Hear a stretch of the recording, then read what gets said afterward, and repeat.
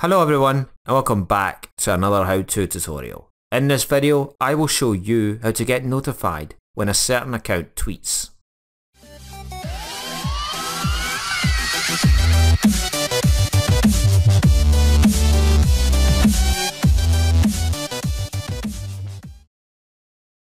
Open the Twitter app on your smartphone.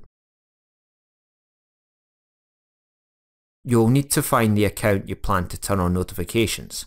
When you have found the Twitter account,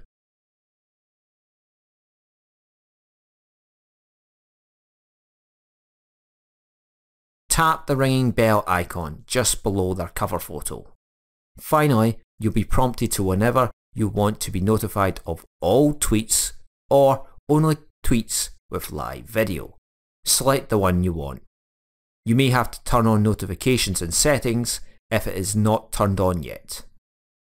Now whenever the account tweets, you'll get a push notification. You have been watching a how-to tutorial from David Reilly.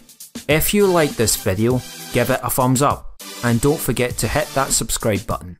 To receive notifications about every new video, you can also turn on the notifications bell by clicking or tapping it. You can also leave a comment down below. Your ideas and suggestions are always welcome. Until the next time, take care everyone.